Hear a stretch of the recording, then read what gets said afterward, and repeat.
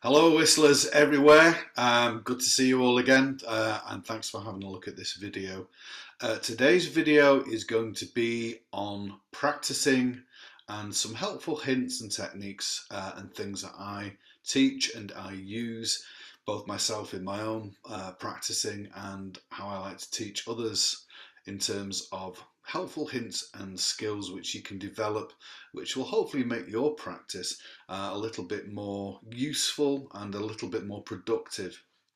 So, um, what is practicing um, and what isn't practicing? Well, practicing is to be able to do something that you couldn't do previously, and even if it's just working on one single ornament or one small part of a tune um, might be working on a phrase or a section of a piece.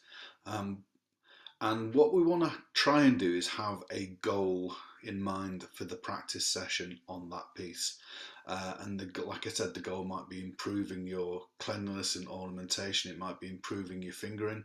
It may even be um, working on your breathing and, and uh, trying to figure out where you're going to breathe effectively in the piece without altering the flow of the piece.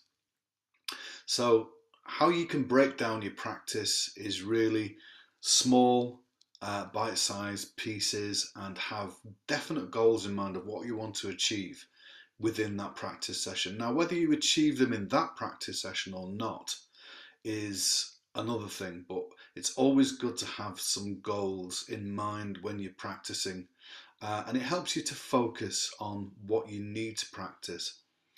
Um, what practice isn't, it's not just playing a tune all the way through from beginning to end and uh, just keep repeating it and repeating the whole tune until you get it right. I mean, I suppose you could do it that way, but it's a very labour intensive and rather a laborious way of doing it. Um, and playing is not practicing because you don't have any definite goals in mind of what you want to improve. Uh, and playing a piece of music's fine and it's all good, but it's not the most productive way of practicing. So, bearing that in mind, what I'm going to do uh, in this video is go through a few practice hints that I use. Um, so, the first one is when I'm looking at a piece of music, I'll break it down and look at phrases or even bars within themselves. So the tune I'm going to work with today is a uh, is a lovely jig. It's also a set dance. Uh, it's called the Drunken Gauger. And there's a few different versions of this, uh, but uh, the one that I'm going to do is a three-part jig, and I'm going to break it down and I'm going to explain how I'm going to use the various different techniques that I incorporate into practicing. So first off is choose a suitable tempo. Uh, one of the mistakes people make is to try and do something too quickly and try and practice it too quickly and all that'll happen is you'll just end up frustrating yourself uh, and we don't want any whistles thrown through the window or uh, broken or damaged in any way. Um, so slow, careful and steady is always a really good way to start your practice. Um, use a metronome, certainly can use a metronome and it's a good idea to set a metronome uh, not too quickly. Uh, to start with, I always like to start around about 60, uh, 60 beats a minute and in 6-8 and a jig. So that'll be two groups of three uh, notes and the dotted crotchet or the dotted quarter note will be equal to 60, which is this speed. One, two, three, four, five, six, two, three, four. One, two, one, two. So that's a nice kind of tempo which I can work with when I'm first starting off learning this piece. If you want to go slower, even better. If you need to go slower, that's absolutely fine. Uh, you could even start out at 50 if you needed to. Uh, I wouldn't go too much slower than 50 because it's probably going to be difficult with slowing it down to uh, something like 40 because you're going to have lots of gaps in between your notes and it might not help uh, as much as slowing it down to something which is like 50 or 60, uh, certainly on the on a jig. But I've set mine to 60. Um, so with this piece, the Drunken Gauger, it starts on a D, but it starts on the last beat. So it counts one, two, three, four, five, six. So we come in on the beat number six. And again, it's known as an anacrusis, or it's also just a pickup note. Um, so just be aware of that. Um, and the anacrusis, which starts on the D, um, we pick that up on the repeat as well. So in the last bar, we've only got one, two, three, four, five beats because the sixth beat is the beginning or that solo that solo note, that D at the beginning, um, just before we come into the first bar. So that balances that bar out, and the same thing happens in the on the third and fourth lines. Um, and then at the end, we don't have that anacrusis, so we don't need to worry about that. Uh, but we do have only five beats, and that's to compensate for the pickup note we have at the beginning. So that balances the whole piece out to become uh, a full bar of six. Bit confusing, I know, but those are the rules of written music. Anyway, so I'm going to start and I'm going to set my click. And first of all, what I'm going to do is I'm just going to listen to the beat. Two, three, four. One, two, three, four, five, six. One, two, three, four, five, six. One, two, three, four. Okay, so if I feel that's a little bit too quick, I can set it down to 50, um, which is down to this. One, two, three, four, five, six. Four, five, six. One, two, three, four, five, six. So I'm going to start at 50 because that's a nice tempo which I can work with. So I'm just going to have a look at the first phrase. Two, one, two.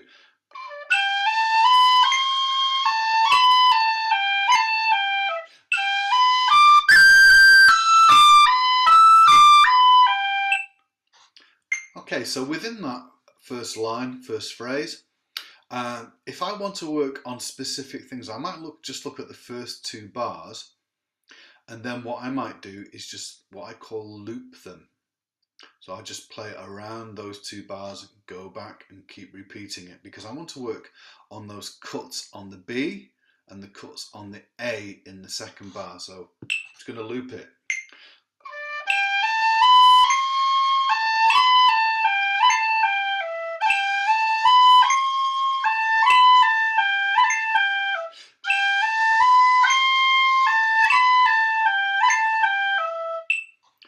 Can do is loop the single bar, that's the second bar or second measure, and just go around that and just make that a smaller loop. So I can go two.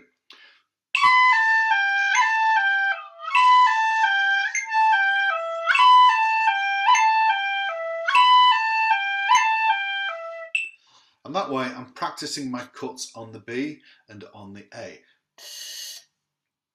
Okay, so if I'll look at the third and fourth measure,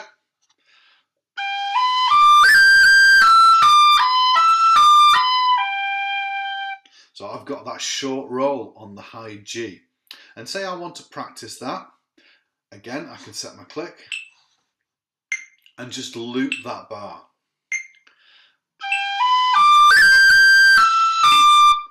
Two.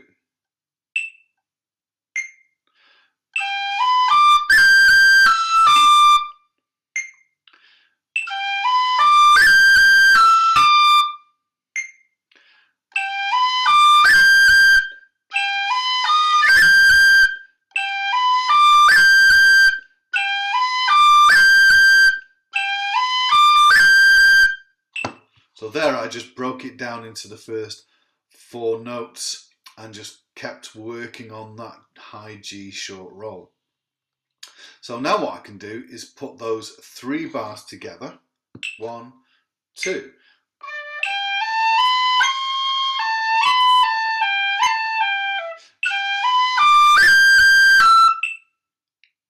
And then with the last bar, so I might want to practice and loop the whole of that phrase. So again, one, two.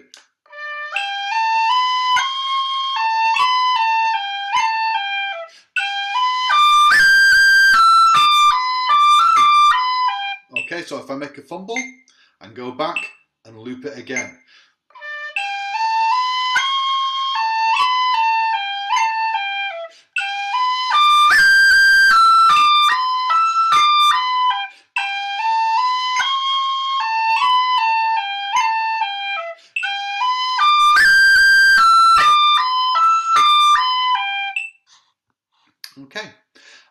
Can work on single bars if you want. Say like that last bar where I first made a fumble. I can just go around that a few times.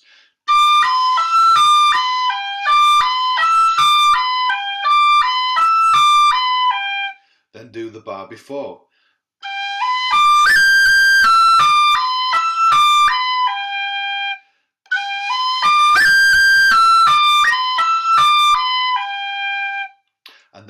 Together uh, with the click.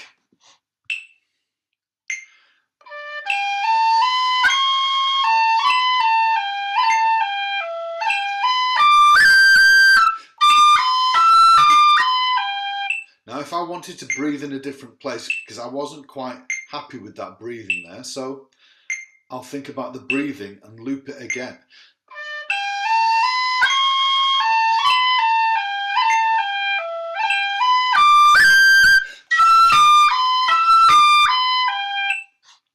That way I'm thinking about where I'm going to breathe, I'm thinking about my ornamentation, I'm thinking about my cuts and my rolls, but I'm also listening to the metronome and making sure that my beat, my pulse is in keeping with that at 50.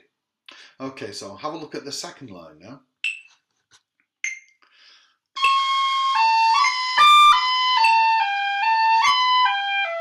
Now those two bars I can loop around again and just practice those.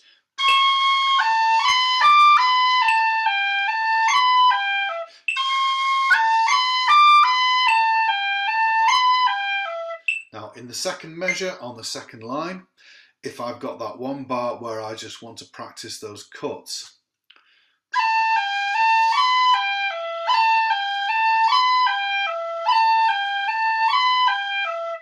again I can loop that bar just on its own.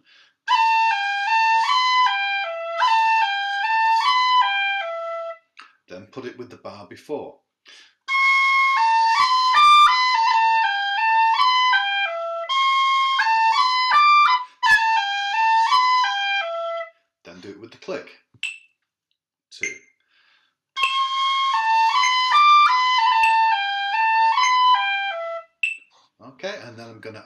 Two bars.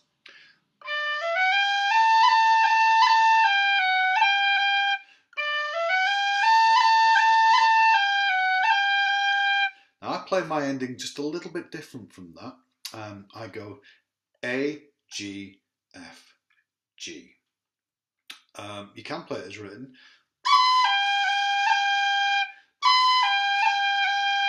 But the way I learnt it, A,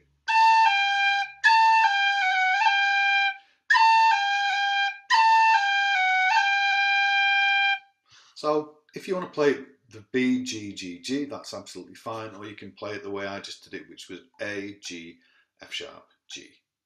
So now I'm going to put the whole of the second line together and just loop that second line.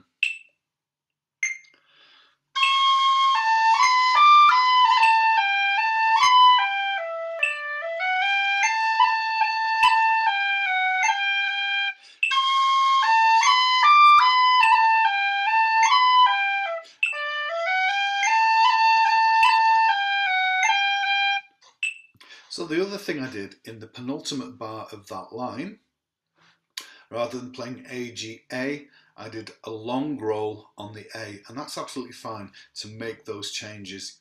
You can either play it as this,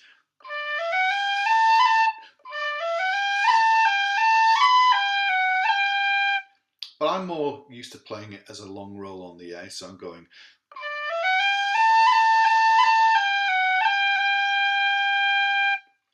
So once I've got that first line, I can play through it at 50 with the click. So the rhythm is all important. Never ever practice anything out of time. Yeah, because you're not practicing uh, counting the rhythm and the rhythm, especially in dance music, is all important. So please, please, please never practice anything out of time and just think, well, I'm just going to practice the notes. You're not. No, you're practicing the wrong thing. The rhythm is all important. So, so here we go from the top.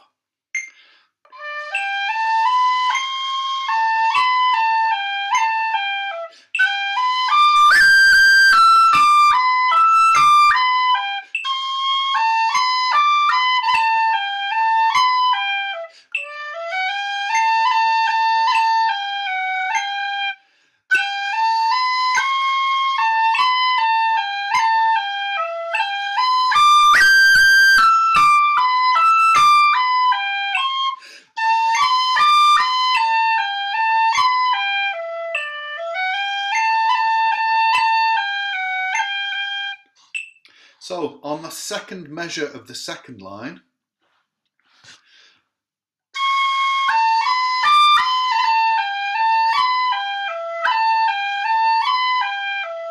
I like to substitute that AGA for a long A roll. So it's going to go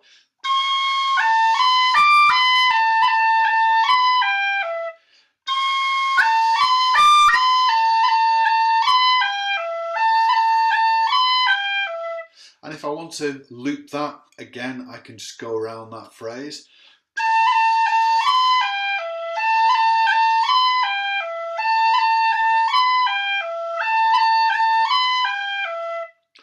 And then maybe take it from the bar before.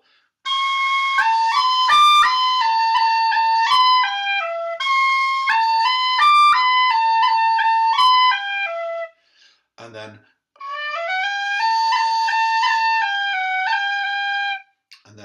whole of that line.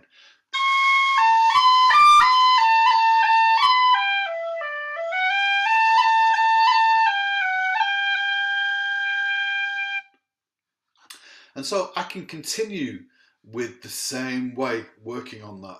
You may only work on the first uh, A part in your practice session, and that's absolutely fine.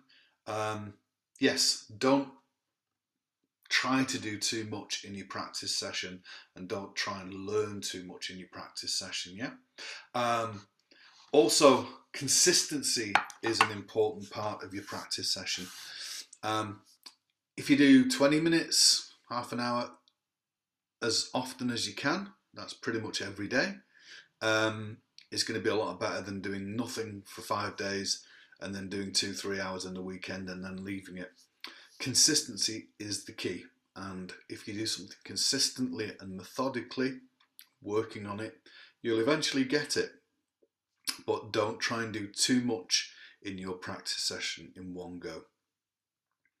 Um, and so what I'll do now is I'll play the B part and the C part at the same speed. And again, you can incorporate those um, practice hints that I've given you about going back looking at the bits you struggle with and then just putting them on a loop and just going around that. So in the uh, the second part, the B part, where it starts on uh, the D, again it's that anacrusis, that bit which comes on the last beat of the bar before. So I've got now going up. You might struggle a bit with that. Um, so you might want to just work on that again, put it on a loop. So again at 50.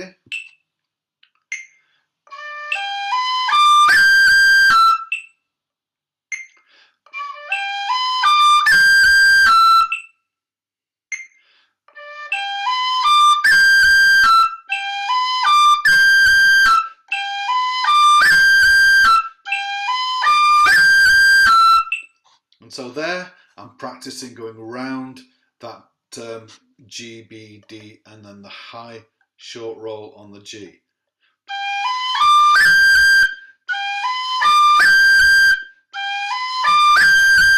And so getting that finger down to play the high G roll is a bit tricky. So So this finger has to come down a fraction before we cut and tap the G. And it takes a bit of practice, so slowly.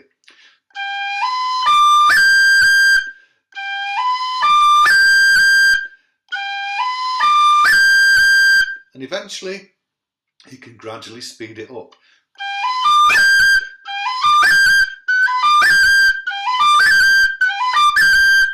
And again, taking your time, making sure that your technique is working for you and that the most important thing that you're playing it in rhythm. So again, setting my click to 50.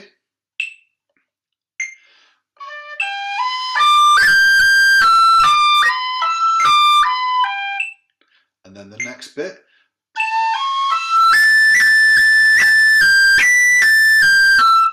And again, we've got that high arpeggio.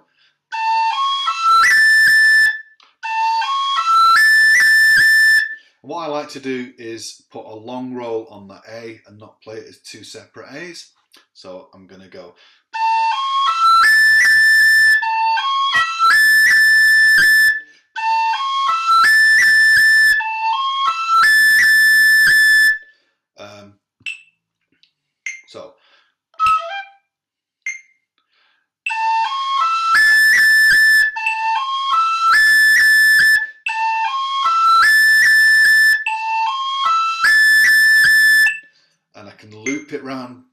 Two bars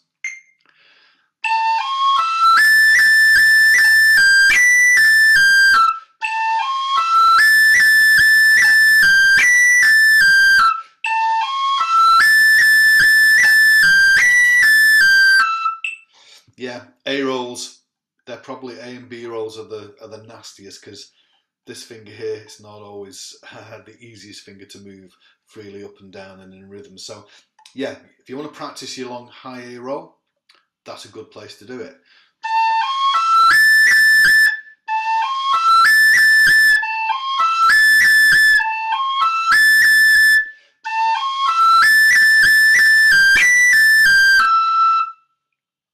So what I can do now is then look at the second line, same thing.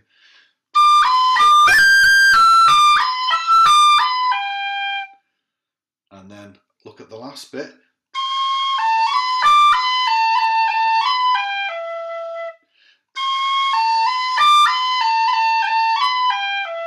And again, I'm substituting that G, A, G, A, sorry,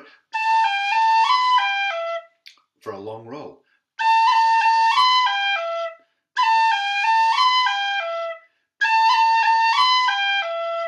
So now I'm going to play through the whole of the B part. Two, one, two.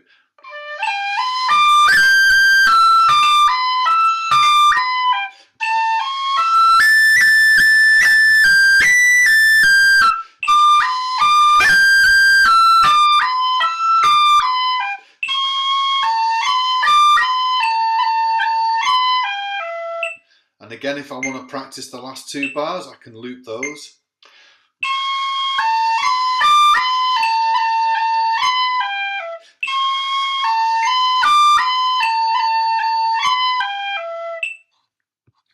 So once you get through the whole piece and you're comfortable with playing it all, then you can start putting it together and playing through the whole piece. Um, but it's nice to work on the bits, or rather, it's essential to work on the bits which are causing you trouble and isolating those bits and working on them separately.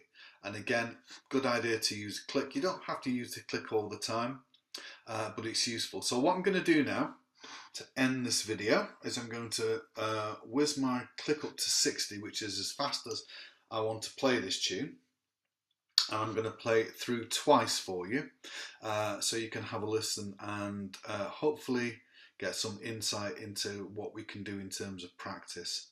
Um, just before I do that, I'm just going to recap on some of the things that I've talked about. So, in terms of practice, it's not playing through a piece of music. Yeah, it's not just playing the tune over and over and over again.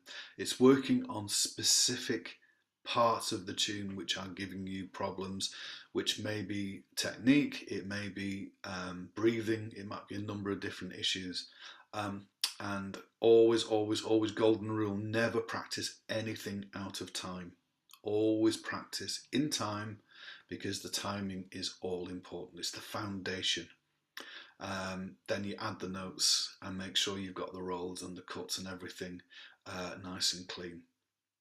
Uh, so, and again, uh, consistency, practice regularly, even if it's 15 20 minutes every day. It's much better to practice regularly and play every day than it is to say play just loads over the weekend and then just leave it because uh, we're not instill, instilling uh, the habits that we need to instill uh, to working on the finger and muscle control, the dexterity and the breathing, which you're going to need to be able to play this tune uh, carefully and in time, rhythmically, and with good accuracy.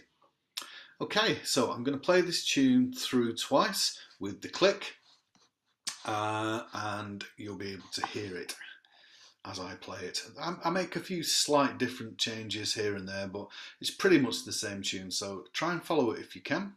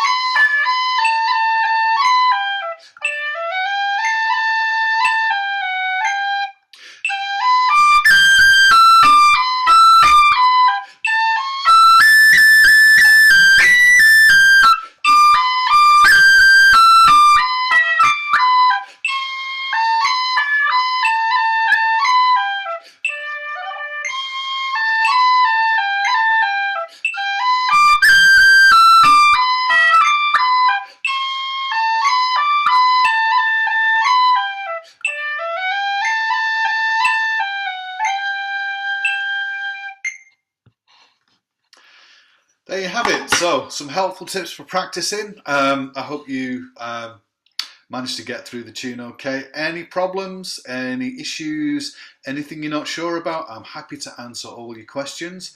Uh, you can send me an email at ben at benwalker.org or you can leave a comment here or if you want to contact me through Facebook, my Facebook page is Ben Walker hyphen music. Um, yeah, just contact me, um, and I'm happy to have a chat with you regarding some of the issues you may have uh, encountered during practice, some of the hurdles which you're encountering, and uh, yeah, happy to help in any way I can. So thanks for watching, and uh, hope to see you all again soon. And goodbye for now.